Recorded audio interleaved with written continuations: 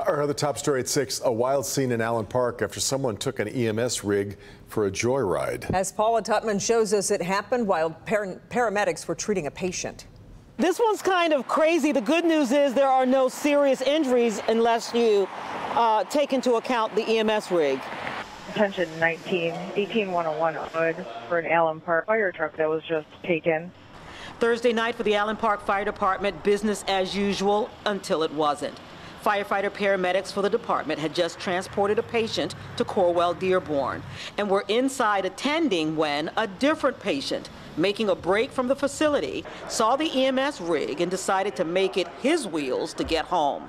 Only an EMS rig is not a vehicle, and the patient couldn't navigate it well enough to get it off the premises.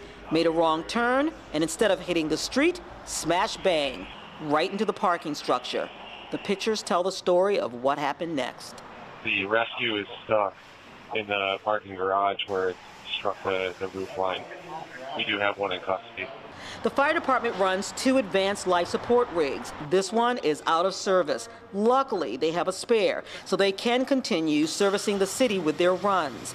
Meantime, the patient who took the rig on the lam, he's being checked out for possible mental illness while police send their report to the prosecutor's office.